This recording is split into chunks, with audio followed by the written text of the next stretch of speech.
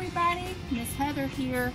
One of my favorite things about summer is blowing bubbles. And today we're going to talk about some cool art that you can do with bubbles and paint. Some of the things you're going to need are bowls and you'll need as many bowls as you have colors of paint that you want to use. I have three colors of paint so you'll need three bowls.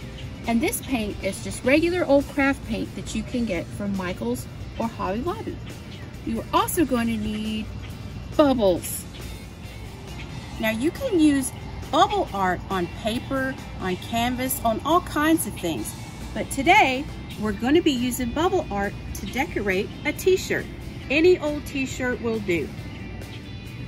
First we start by putting a little bubble solution into our bowls like this. Next, we squirt a little bit of paint into each bowl.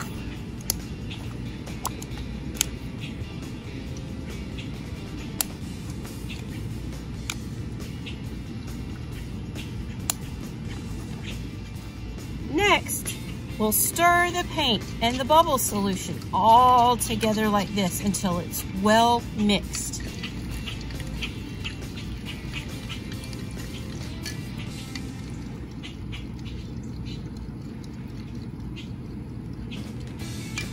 Take our bubble wand, mix it into the bubble paint, and then we blow it. onto our shirt. Already it's making spots.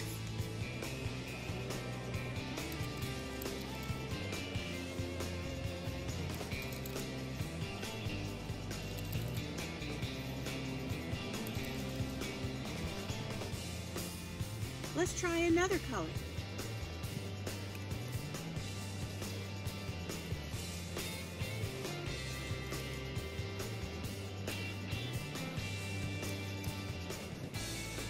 Now let's do our third color.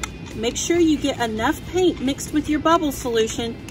Sometimes it helps if you rub the bubble wand down at the bottom of your bowl.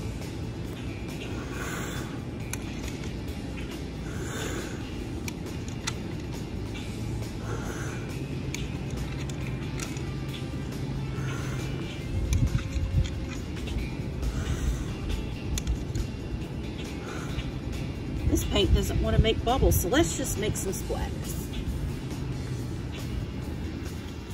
When you're finished with the front and you've got it just like you want it, flip it on the back and do the same to the other side. When you're finished with your t-shirt and it's all nice and dry, make sure you have your parents wash it for you in the washing machine on cold.